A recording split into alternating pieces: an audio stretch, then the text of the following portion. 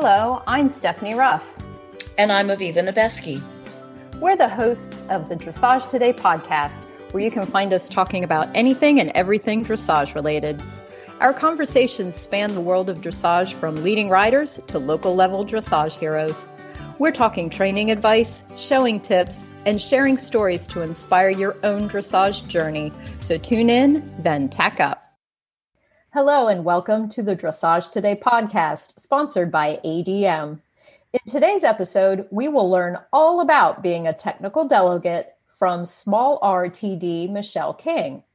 Full disclosure, Aviva and I both know Michelle, who goes by Shelli, from our respective times with VADA/Nova, which is actually the Northern Virginia chapter of the Virginia Dressage Association. We are really happy she agreed to talk with us, and we think it'll be a great to see a side of horse shows that you may not actually know much about.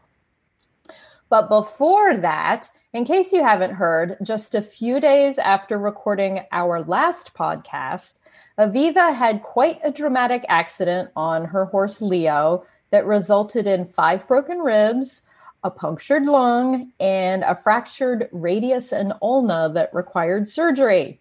So, the important question is, Aviva, how are you feeling? Surprisingly, really, really good. Um, it was a true accident in every sense of the word. I was on the buckle. I'm not sure, but I think Leo was stung. In the six years that I've owned him, he's never bolted and he's never spooked like this. So I think something happened. And you know, when you're on the buckle and you try to grab the reins, you're not always really effective. And I didn't have yeah. very much time. And we um, we went out the door to my indoor.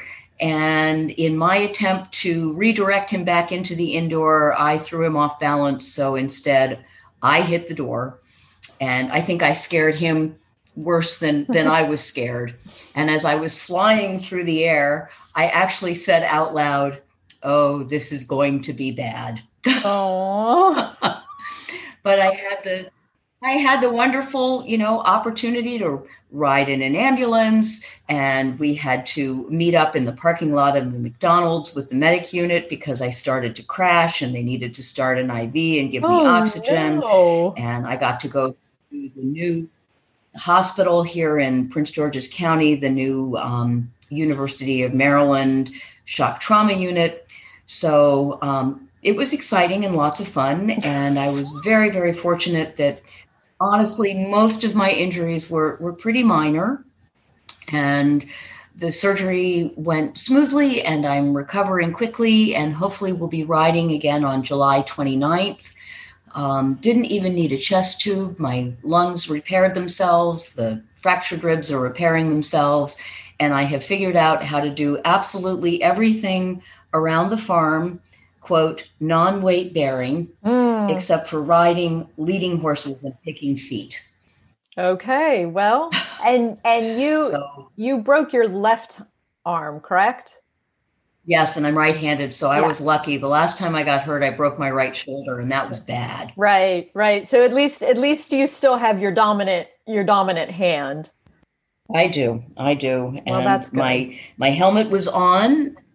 Good. And um, I'm not sure if I had been wearing a vest, if I mm. might have mm. been in better shape or worse shape. I have a feeling that the sound of the explosion when it when it opened might have scared Leo even worse when I managed to uh, do inventory and stand up, because of course, you know, I was alone and not expecting anybody for hours. Um, poor Leo was standing halfway down the, the, driveway, and I I called him, and the sweet thing was so scared. He came trotting up to me, and I grabbed the rein with my right hand and got him into the barn and put him in his stall, and went to take off his bridle. And I don't know if anybody has ever tried to take off a bridle one handed, but honestly, you can't undo those buckles. No, I guess you can't. Now that so, you now that um, you mention that, I, uh, no, no, I bet you can undo those yeah. Oh, but you know what? My horse, everything in the world, you know, I talk about how difficult he is and everything else, yeah. but when when the the things get tough, he really steps up. He stood there while I used my teeth. Oh. And just stood there like a statue and let me take the bridle off. What a good boy. So, oh yeah. man, and and as a true horse person, you know you're suffering from major injuries, but you're taking care of your horse. Well, yeah, I couldn't leave him in the stall with his bridle on, could I? No, of course not. That's dangerous. Of course, no. I mean, that's what we horse people do. I, I will admit, that's right. I will admit, I did leave his his saddle on, but I okay. called my husband and said he needed to come down, and he took the saddle off, okay. and um, then called 911. So and then called 911. We took care of Leo. You've got your priorities yeah, well, great. Absolutely. And again, I was very, very fortunate in the general scheme of things. It, you know, I didn't lose consciousness. Right. My helmet protected my head. Didn't break my back. I mean, yeah. horrible, horrible things could have happened if I'd had the door open just a little bit more instead of hitting the door, which had a little bit of give to it. I would have hit the four by four mm. you know, mm. Post that yeah. pulled up my indoor that sunk into concrete. And I don't think I would be recording right now right. if that had happened. Right. So, yeah. yeah. You know, it's only, you know, I'm, I'm going to be incapacitated for about six weeks, which when you're 63 years old, six weeks really isn't that much of a period of time in your life. Yeah. It goes, it so, goes fast. It does. So let's move along from that because that's not interesting. No. well, we are all very glad that you're okay. I think I can Thank you. and I do want to let all of the listeners know. I do want to let all the listeners know that this was not Leo's fault and that I'm not holding a grudge and that yes, I'm planning on getting back on him and I'm not even afraid because I know what an anomaly this is. Right. So good. I just good. Put that out there. Right. Okay. Good to know. Very good to know. Yeah. But yes, we I actually then you know, I have nothing nearly as dramatic to talk about. Fortunately, I'm okay with that. Uh, yes. But but circling back to our la- our conversation in the last podcast that kind of was about saddle pads and then started to drift a little bit into sun shirts. Um, I have a follow up story for that, and um, oh, cool. yeah, well, you know, it's it's it's not an addiction but it, it is definitely a thing i had to go and do because i i bought two new pairs of seats or full seat tights that were on clearance because i'm on a budget. And they they were on clearance because they were discontinued colors. And i'm not so sure that they were particularly popular pop, popular colors to begin with. Um, oh my well, Tell I don't know. Either either that they're not colors I would have normally picked. One is kind of a plum and one is a pretty bright royal blue, which is a little brighter than I would like on the bottom half of my body, but you know, whatever. So, but I liked the price and I liked everything else about them. So I bought them. But because these are, you. yes, you know, I really needed them. Anyway, um, but since these were colors that I had nothing like, of course, I didn't have any to go with them. And while I am not strictly a matchy matchy person, I don't want to be all clashy clashy. So I was like, oh, I've got to go find something I can wear with these breeches. So, you know, so, but of course, luckily here in Florida, we have, you know, like our entire wardrobes are quick dry clothing and sun shirts because of, you know, that's what it is here. so so I can just go to the local store and shop the fishing section and there are a gazillion different kinds of shirts. So I went to oh, yeah. yeah, so I went to, you know, a, a store here, shopped their clearance racks and found some really great deals in colors that match my now plum and royal blue full seat tights. So oh, good for you. Uh, so I and now you need to get now, Stephanie. You need to get saddle pads and wraps. Right. Yeah. Okay. Um, we'll work. We'll no, work on that. We'll work. I don't know. You should. I should send you what I can do. I can send you pictures of my tights, and you can see if you have saddle pads in your collection that are that color. Okay, that'll work. well, you know, t- tied in with that, you know how we had the whole discussion about I bought the yellow saddle yes. pad? Yes. So after I got hurt, a group of, of women that I teach um, monthly in, in clinics in Virginia, they got together and they sent me a get well gift. And it's a sun shirt in yellow with galloping horses on it. And it's a get well present and it matches my saddle pad. Well, there you go. there you go. So now we have we have new sun shirts to wear. We have new outfits that and you'll have to you'll have to uh when you get back on and start riding again, you'll have to get a picture of you riding with your saddle pad and your matching sun shirt, but no galloping horses for a while. You have to, you know. No galloping horses. well, I will also tell you back to the to the whole addiction of saddle pads and all the rest of it. So when I was in shock trauma, I you know, the broken ribs were really very painful. Of course. Um and I was wearing one of my favorite sun shirts. Oh no. It's actually a golf shirt and a pair of really old but very loved breeches. And I looked at them and they looked at me and I said, cut them off. Oh. I could, I mean, that's how much pain I was in. Yeah. I said, cut them off. And I tried to replace the sun shirt and they don't make it anymore. So you oh. know what I did? I bought three other ones instead to make up for it. Well, there you go. a little retail therapy to make you feel better. exactly. Exactly so we are expanding our sun shirt collections. And and now we're not i'm no more no more saddle pads and no more sun shirts. And if i do i'm not telling. Oh okay okay. Well you know you're you're gonna go back you're gonna go back and and and hide from that and not let anybody know huh? No. No. And anybody who sees me with anything and says oh is that new? I'm gonna say no i've had this for a while. I just dug it out of the closet. It was in the bottom of the closet. well, the uh, the irony is the the day before I got hurt, I had a lesson and I decided to do my matchy thing, and I have a beautiful sage green. Um, I think it's. I think it's an equestrian Stockholm, but I can't really remember which one it is. But it's a beautiful saddle pad with matching um, boots for the horse and I wore that for my lesson with a contrasting green pair of breeches and a black shirt. And my trainer, who is not particularly into bling or matchy matchy, was so incredibly impressed with how gorgeous we were. Oh. So that was my that was my last lesson before I got hurt. Ah, oh, well, you know. We went out with a bang. That's right.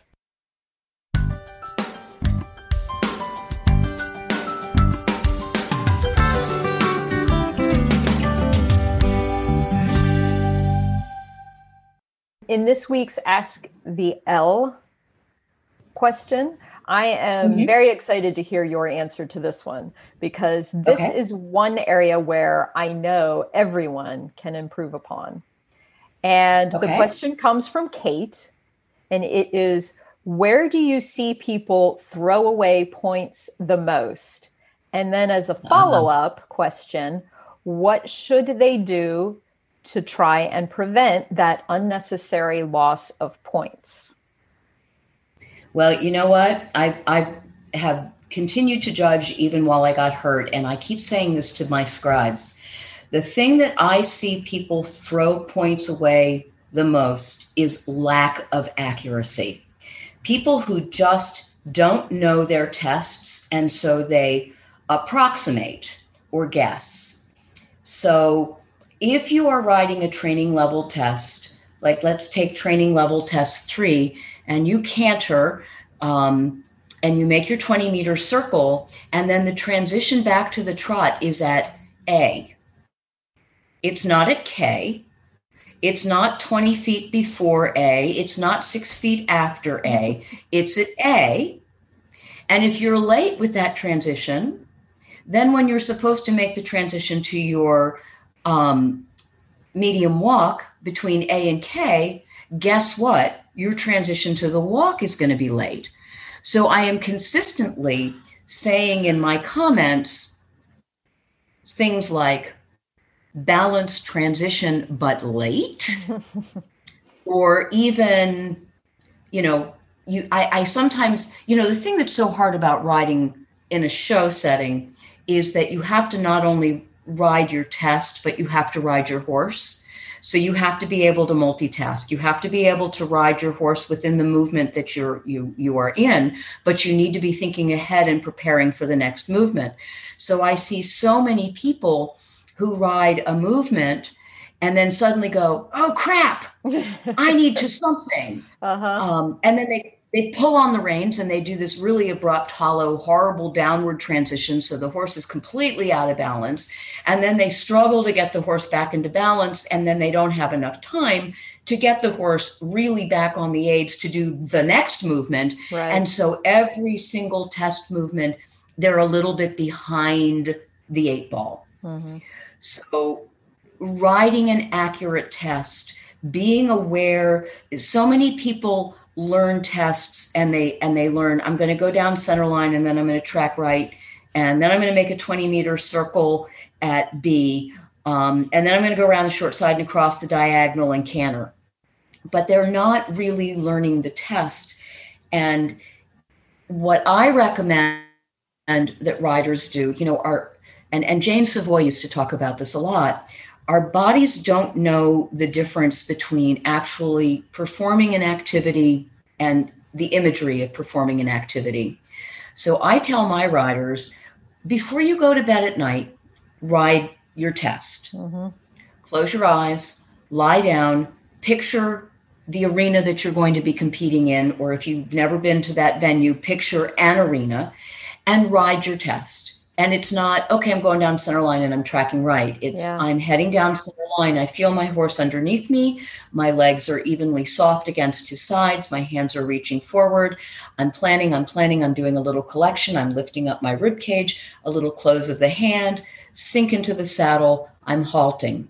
I'm putting both reins into my left hand. I'm dropping my right hand i'm nodding at the judge I'm watching to make sure that the judge acknowledges me as I'm picking up the rein.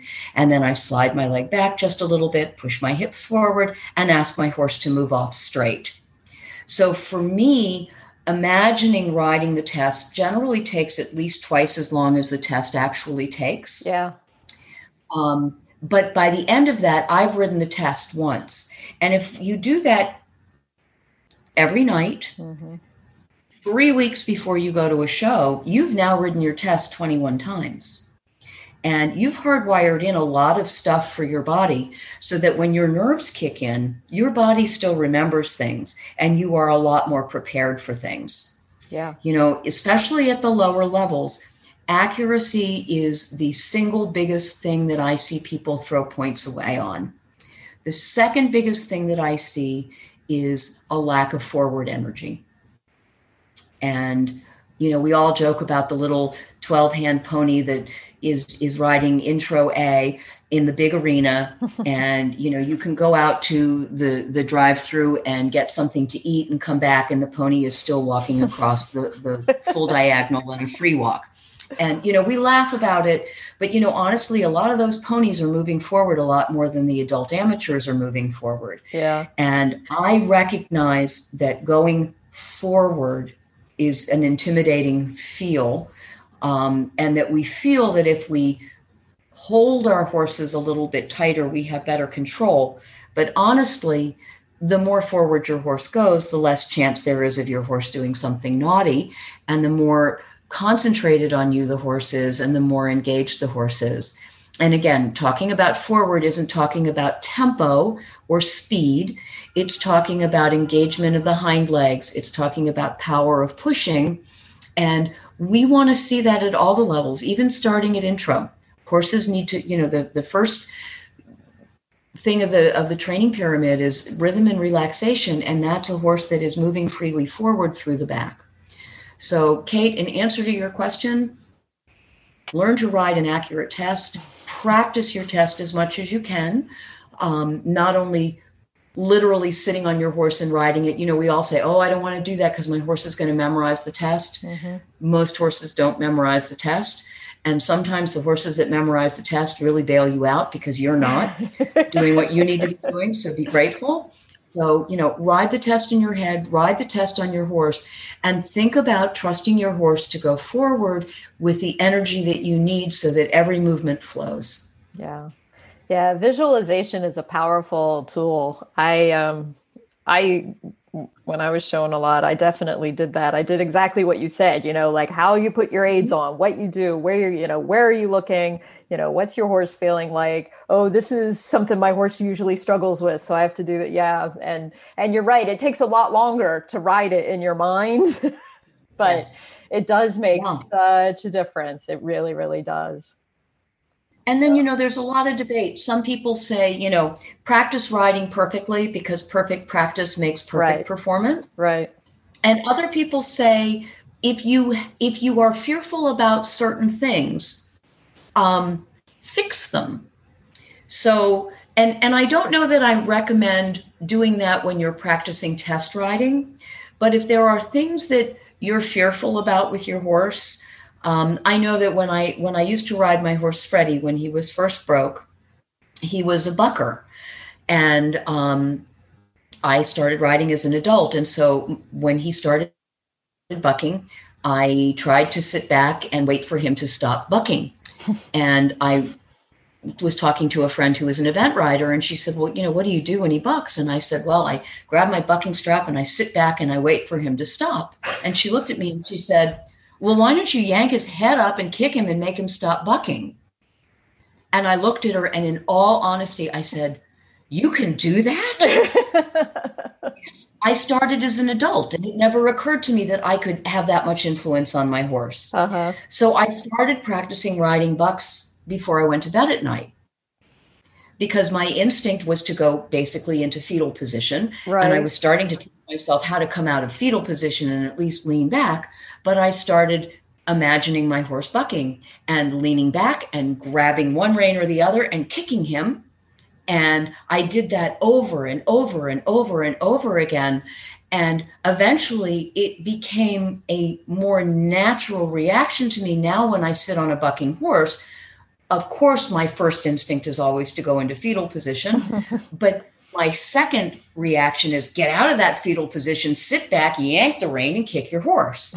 and it has really stood me in good stead. Yeah. So, for those of you who start thinking about, oh, well, maybe I should practice riding through all the mistakes my horse makes, don't do that when practicing your test. Do that separately. Yeah. Very good advice once again. So if you have a question about showing or judging, feel free to email me at sruff at equinenetwork.com or reach out to us on DT's social media. When we return, we'll have our conversation with Michelle King. Gastric support just got easy. Forage First GS by ADM helps provide gastric support for horses of all ages and performance levels.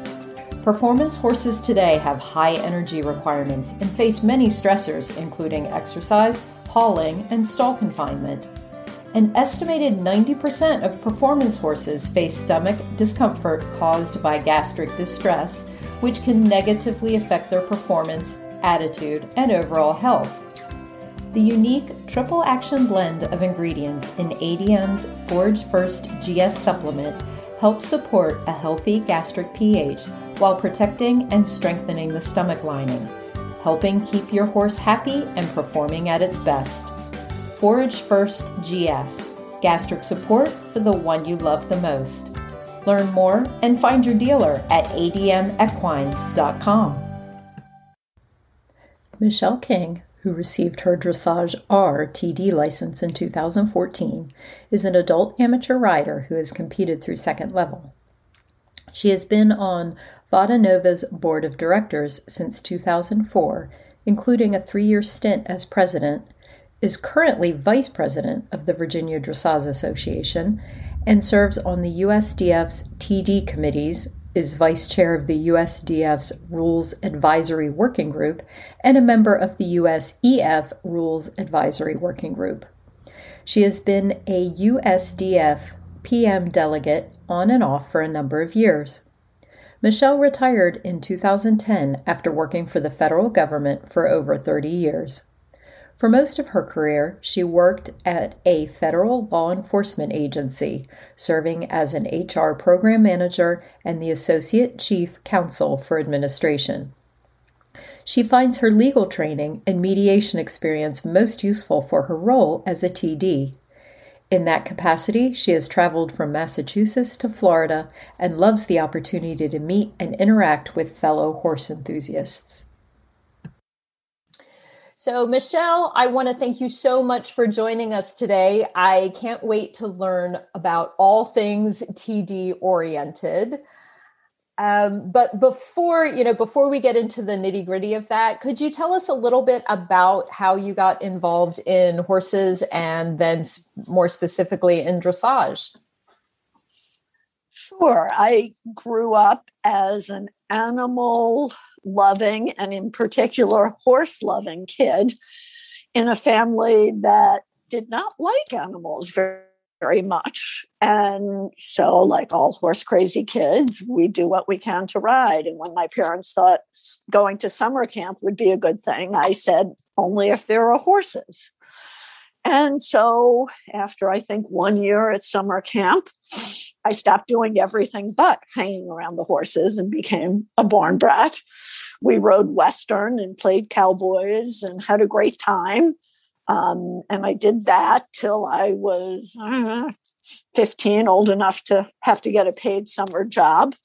Stopped riding, always loved horses. And when I was getting ready to go to college, I looked at the school's requirements and there was a PE requirement. And I'm not the world's most physical person. And I studied further and I discovered horseback riding met that criteria. Wow.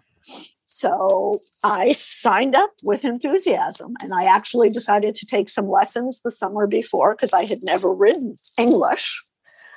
Um, so I did it and I loved it. And I then stopped for the rest of my college years and went to law school and moved to DC and ran into friends who were trail riding in Rock Creek Park.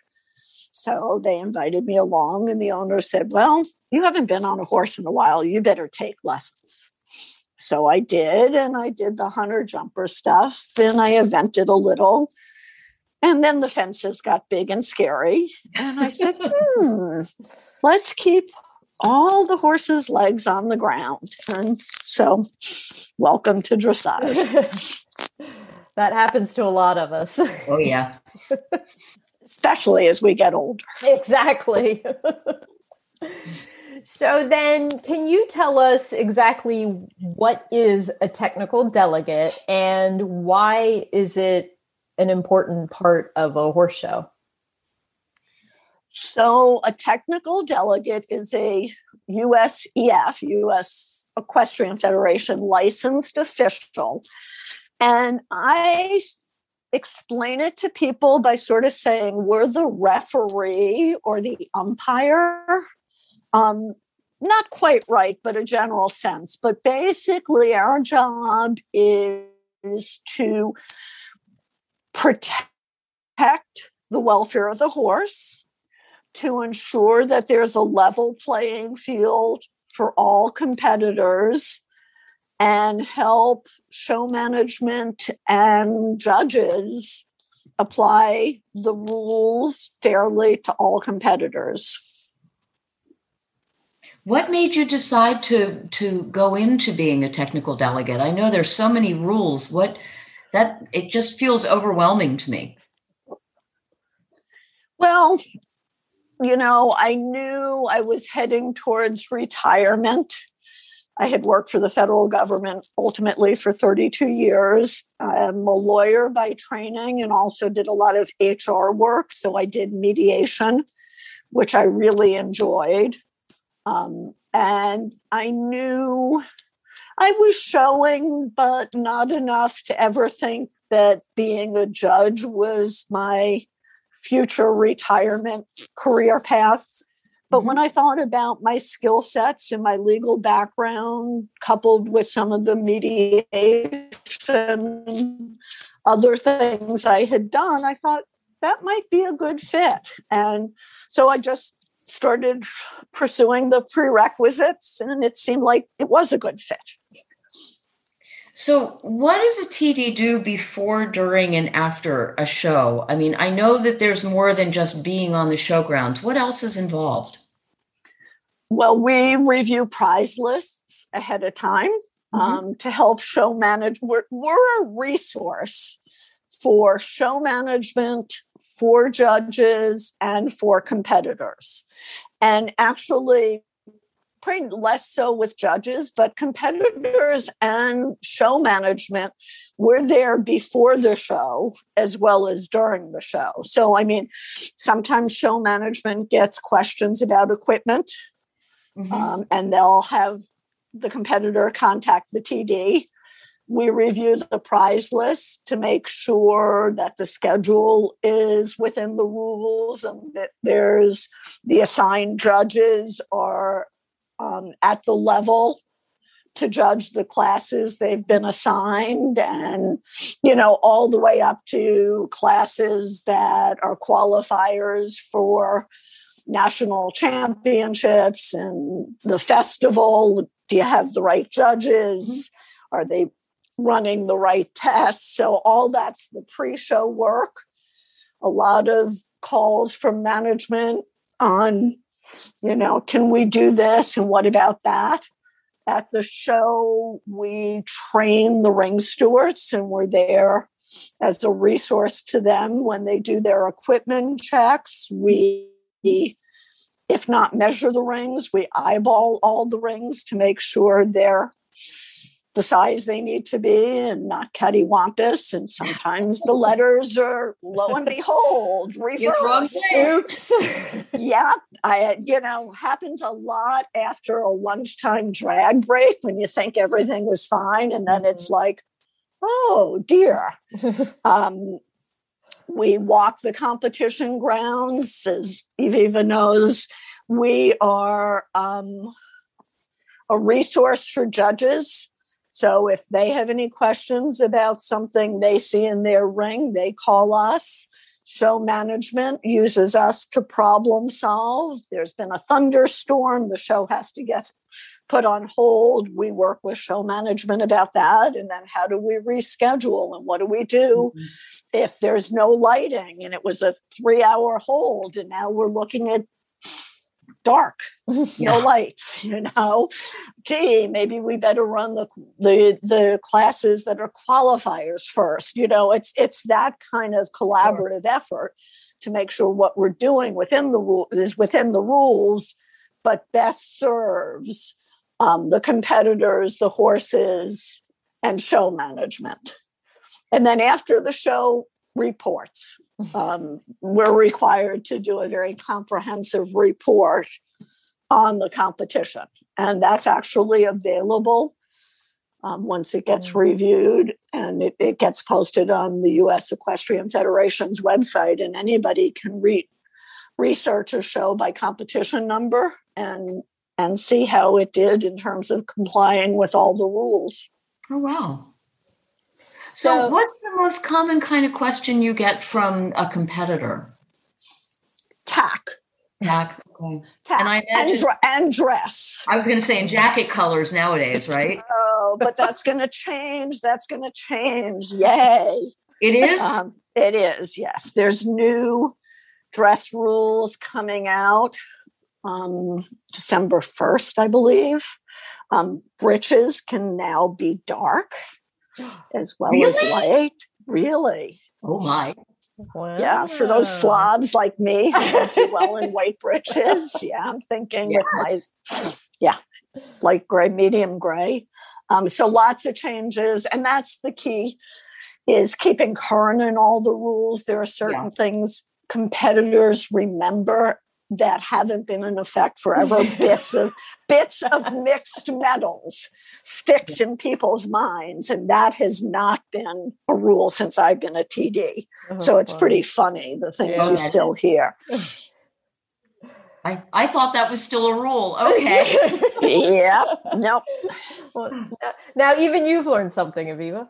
Absolutely that's what we're here for. That's right. Education. I think I view the job as one of education. And, you yeah. know, sometimes you've got to, well, I, the show has to eliminate a competitor. Um, sometimes you just can't avoid it. The rule is that clear.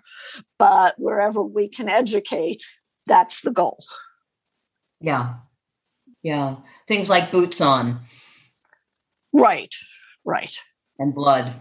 Oh. Blood. Yeah. And, and when you ex- and you know even there there's an opportunity to, to educate because sometimes the blood is you know the horse kicked himself yeah. and just interfered but when you explain to a competitor the public perception right and the fact that the horses can't speak for themselves and where do you draw the line about you know some gushing wound versus something that so there are certain things that have to be black and white. And if you can i always find that if you can explain to people the why and the rationale and use it to educate they're much more they're not happy if they're eliminated but at least they're understanding. They're much more accepting yeah. Now are are are you able to actually eliminate riders or do judges do it or do you both have your own different ways of elimination so it's a great question we we tds never get to eliminate Oh, okay. um, we are advisors only. So inside the sandbox, it's the judge and only the judge. Okay. And outside the sandbox, it is competition management. So if a judge misses something during a test, but a ring steward during a normal equipment check sees blood, sees an upside down spur, a whip measures too long, then at that point, they need, they would call me over and I would call competition management. Okay brief them on the rule, and all I can do is advise. If the rule is very clear that it should be an elimination, and if competition management doesn't want to do the sometimes not so pleasant task, then my responsibility would be to note that in my report. Okay. And so, can you then can you, as the TD, approach riders directly? And can riders approach you directly, or does it have to go through management or something? Um, so the easiest part, I, I think the answer is yes on both ends. And certainly every TD I've worked with, and it's my way of operating as well. We want competitors to approach us. And in fact, one of the things I'm on the USDF TD committee.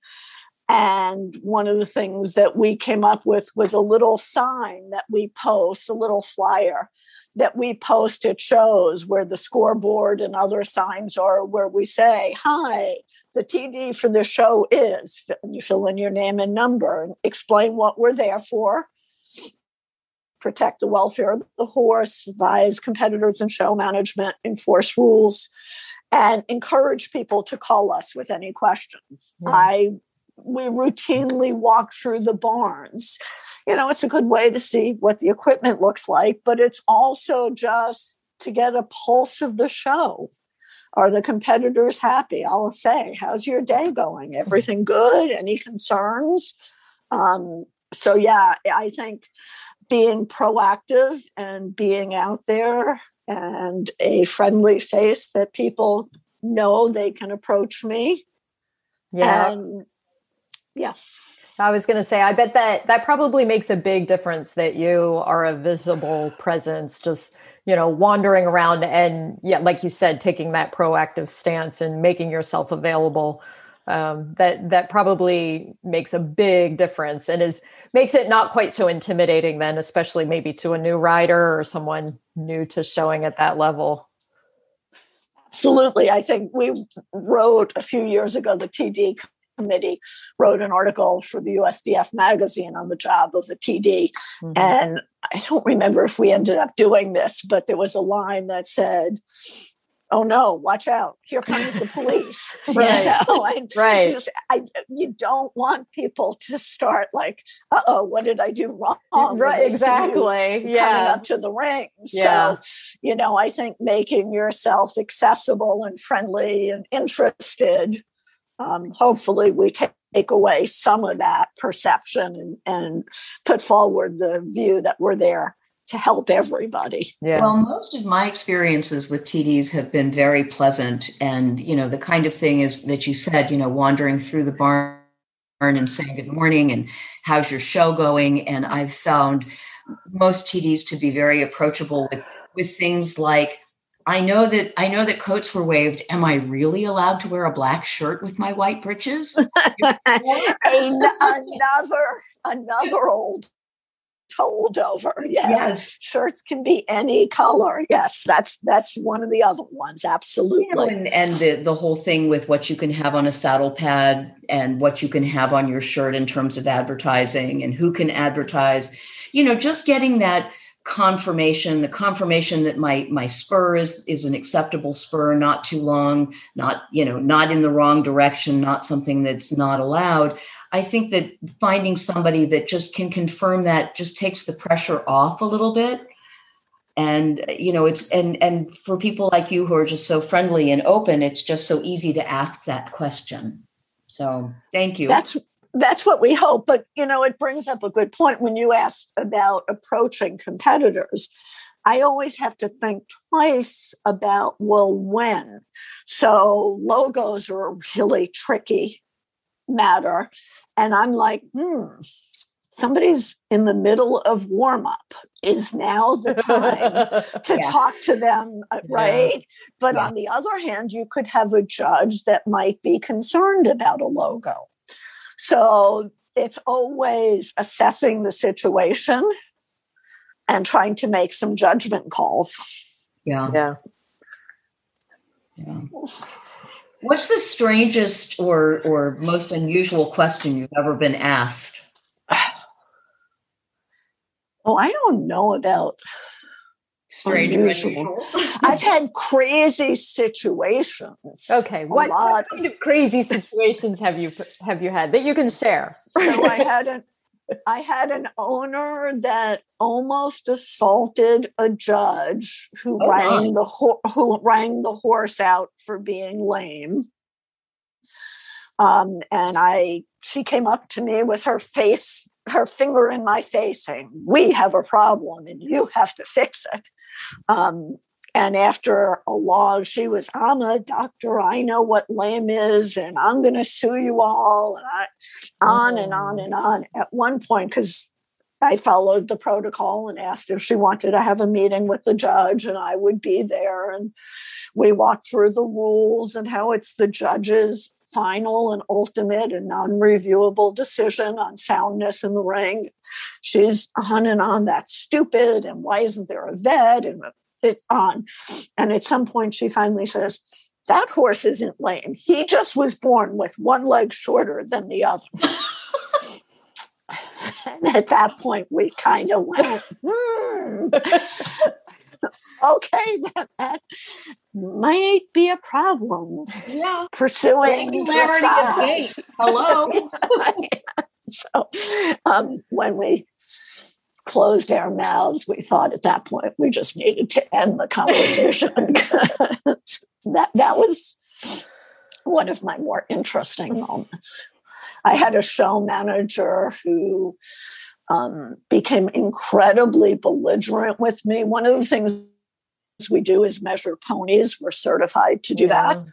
And we have to be to keep our license. And she had a student's pony that had recently been imported and obviously was not inexpensive. And the pony wasn't a pony. pony. Oh. and she was just belligerent that I ruined the value of that animal's price for the rest of its life. And it got so intense that I wrote that up in detail and she got fined by wow. USEF.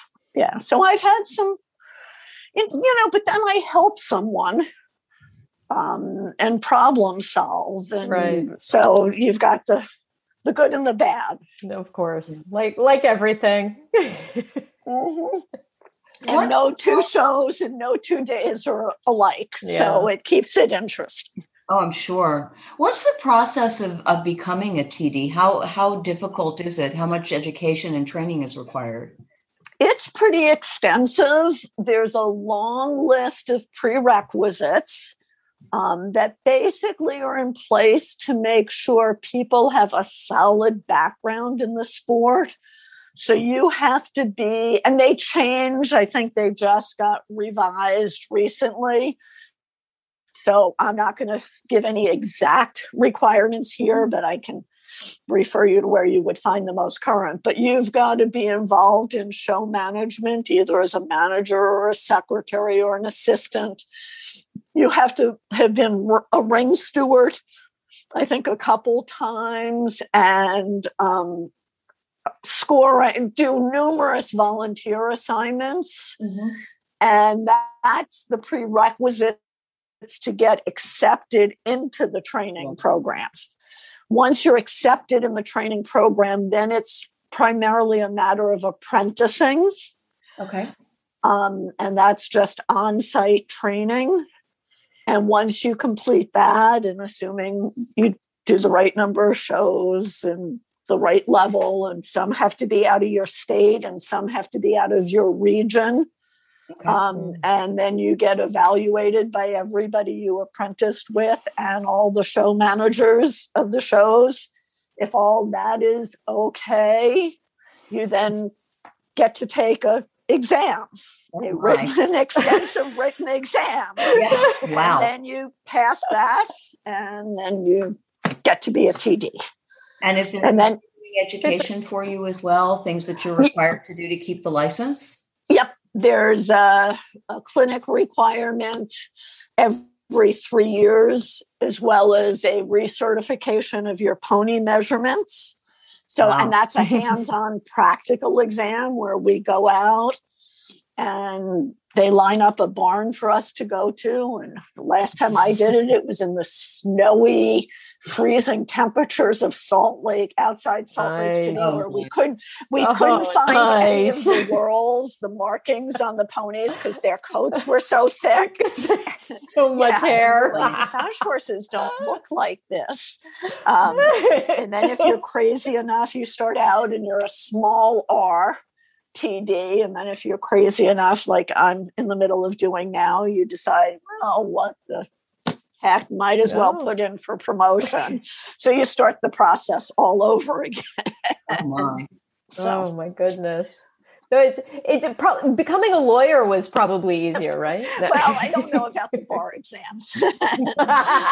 okay, okay, yeah. maybe not. Although I was pretty panicked about taking my my test. I kept saying I haven't taken a test in know, thirty years or yeah. something. Yeah, it was like, right, right. Yeah. No, I, so I hear having you. terrified us so all. Why would anybody want to become? right. want to do this? That was yeah, my question. You know, if you like being involved in horse shows, getting to meet people, um, travel. I mean, we have to get hired by the shows. So you have to sort of get known. And as you get more known, the universe that you get to work expands. Um, one of my most exciting things was I think I was I was the for what I think was the first dressage show that started up after the pandemic freeze. Oh, um, there were other wow. shows that weekend, but this one started on Friday. So we're pretty convinced we were the first show back. And that was in Minnesota. Yeah. That was in Minnesota.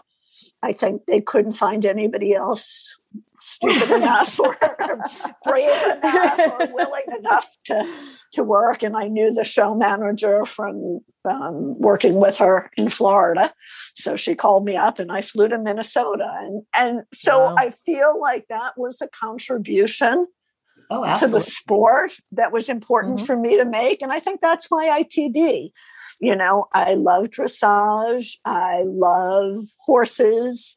I think what we do is important. And um, I think there need to be people who make sure we do it right. Well, and obviously you are one of those people. I try. and we're grateful to have you in our region up here. Thank you, Shelli. yeah. You're welcome. But well, and this has been very educational for me. I've learned something. Aviva, I think you've learned something. Oh, a right? lot. Yeah. Yeah. So, and hopefully, um, our listeners have uh, learned something. And Shelli, if if people do want to find out more, or you know, find out more about it, or you know, how to kind of get started and stuff, what websites? Where's the, where should they go look? So, right now, the function of licensing rests always has and still does rest with USEF, the Equestrian mm-hmm. Federation. But the education piece is now in the hands of USDF. So there's actually okay. information on both websites. But to find the prerequisites, there's a document on the USEF site. I believe if you click where the rule book is, there's a tile for it, but I know if you Google, it's called the Policies and Procedures Manual. And that contains the path of becoming a licensed official for every discipline from course designer to Western dressage judge to dressage judges and technical delegates. And that lists the prerequisites and the requirements once you're in the training program. So that's the best starting point. But there's a lot of great education on for technical delegate resources on the USDF website. The policies and procedures manual would be on EF, but DF has a lot of good education material on the role of a TD. Okay, great. Super. Well, we certainly appreciate you coming on with us today and sharing sharing your wealth of knowledge. And um, we really appreciate you taking your time. It was great it to was talk fun. to you, Shelli. Yeah, I had a great. It was fun. Great. Thank you so much. Okay. Have a great evening. Thanks again to Michelle King for talking with us today. And thanks also to ADM, our sponsor for this episode. Thanks for listening to the Dressage Today podcast. If you've missed any episodes or to subscribe, go to Apple Podcasts, SoundCloud, Stitcher, or wherever you get your podcasts. While you're there, please rate and review the show. Learn more and read in depth training articles at dressagetoday.com, or you can visit our subscription video site on demand.dressagetoday.com. Be sure to give us a follow on Facebook, Instagram, Twitter, and Pinterest. Happy riding, and we'll see you at X. The Dressage Today podcast is a production of the Equine Podcast Network, an entity of Equine Network, LLC.